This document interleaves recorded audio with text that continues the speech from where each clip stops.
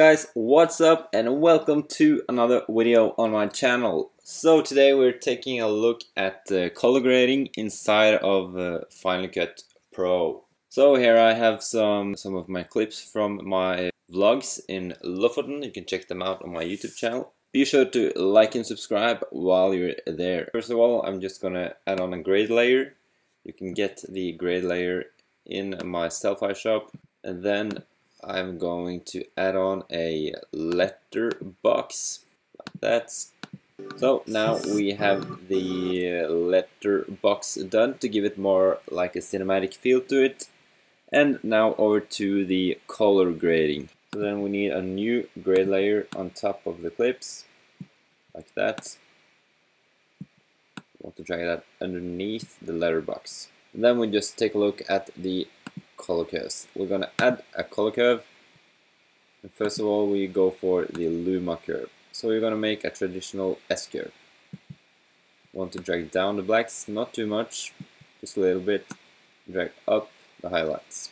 Then to make it more cinematically, you take this one and drag it a bit up. You see you get that fade away in the blacks. You can do the same with the highlights if you want more kind of faded highlights. Also take a look at some of the other clips maybe a bit too much. Take it down a bit. Yeah, I think that's uh, I think that's a good starting point. Now let's take a look at the red, green, and blue curves. We want to do the same here. Make a slightly S curve, not too much, just a little bit, like that. The same with the green one, not too much, just a little bit. The same with the blue then let's take a look at the color wheels.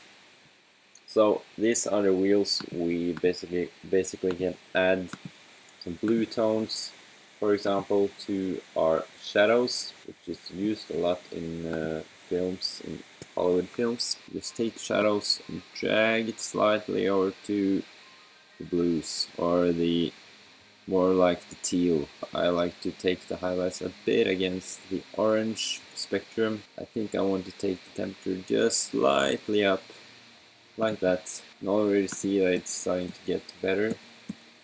This is some really basic color grading. If you really want to do more color, grading, you should go into maybe buying color finale or something like that, or or using presets. I want to take the saturation in the midtones a bit down. Let's just jump back to the color curves and we can see if we can do any more adjustments with this one, the Luma curve.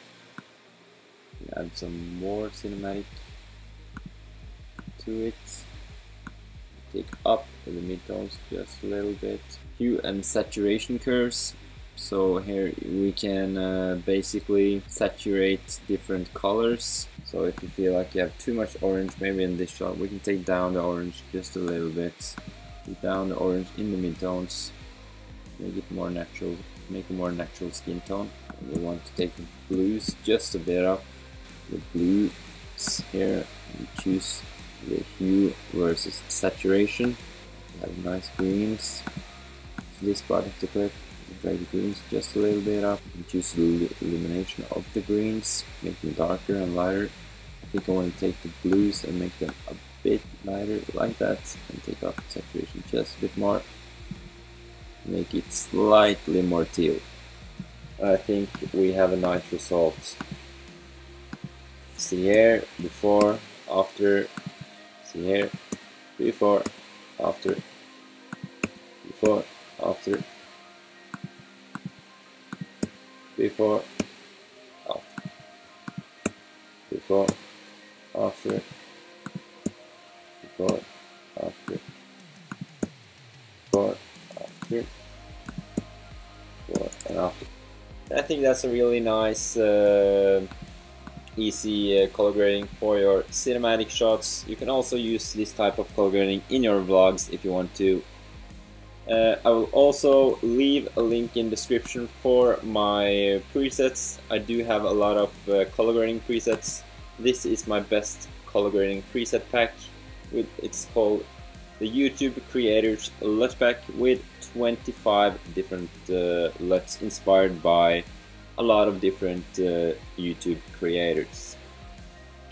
Okay, so I hope you guys enjoyed this video. Be sure to leave it a thumbs up if you haven't already and smash that subscribe button and I will see you guys in the next video. But until then, peace!